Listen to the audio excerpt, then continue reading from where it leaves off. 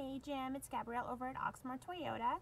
I just wanted to send you over a video greeting just to introduce myself so you can see who you'll be working with.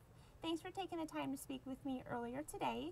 Um, I did just set your appointment for tomorrow around 1 to take a look at that 2015 Tacoma.